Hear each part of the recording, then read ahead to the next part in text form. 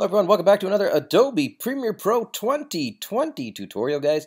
This one we're using the new, just launched 2020, and you're going to notice that I didn't say CC 2020 because uh, Adobe's taken out uh, the CC, or Creative Cloud component. So it's just 2020, like my eyesight. Yeah, okay, sure. Okay, I lied about that part.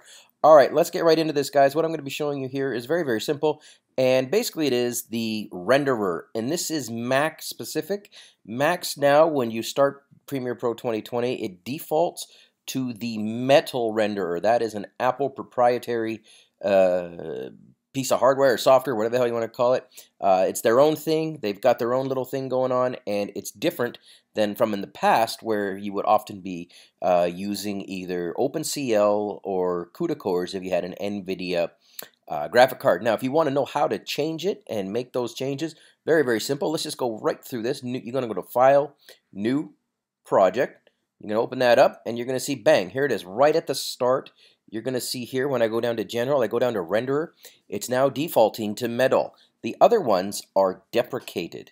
So you'll get the um, OpenCL will be deprecated, and if you have an NVIDIA graphic card, you'll probably see CUDA, and that will also, CUDA core, pardon me, and that will also show as deprecated. So you can always go into the project settings and change the renderer. Just keep in mind that going forward into the future, the deprecated ones probably won't be well supported, and in fact, they may even just be dropped at some point. So just something to keep in mind. Again, this is only for Mac users. If you're on a, you're on a Windows laptop, this will be of no value to you.